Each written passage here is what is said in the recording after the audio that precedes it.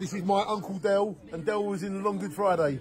And he's going to tell us all about it now. This is Uncle Del. Well, we, we did the, the first part when we do it. In the in the second part in the morning, because we went to Paddington Station for the other half in the afternoon. But the Paddington Station was the first bit in the film before the second bit, so you never knew what was going on. So, because we went uh, Saturday morning, the station was busy, so or Sunday morning.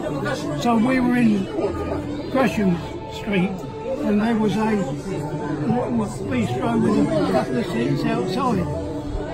This is a, this is a So the girl was sitting in the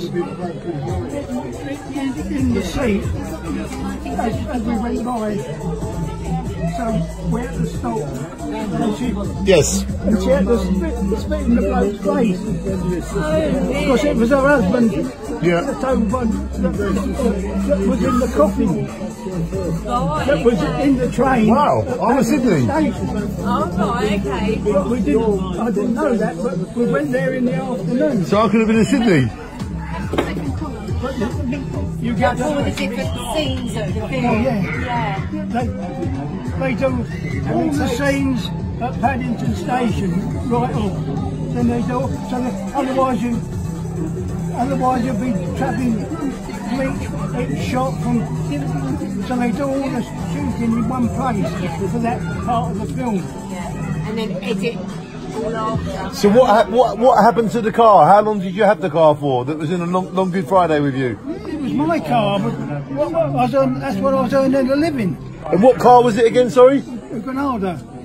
NLC 999p. And you was in the Long Good Friday driving Bob Hoskins. No, um, I was. It was the girl, the, the, the, the girl that, that that came off the. She came off of the. Uh, Helen Mirren. He- Helen Mirren. Uh, yeah, that's her name. Helen Mirren. She's the actress. Yeah. Yeah, because she was in it with Bob, and you drove Helen Mirren, Mirren in the first scene of the Long Good Friday. Is that right, Peter? That was There was another lady in the yeah, sorry, in the funeral scene where she gets out of the car Yeah. and walks across and spits in a man's face Okay. because she blamed him for the death of her boyfriend, husband, or whatever. And your dad Del was driving. Dale was driving. You see him in the film. Yeah, I saw the film out live. I didn't know Dale was in the car, That's amazing. but you can just see his. Uh, Thank you, Peter. Ask him how he takes it to.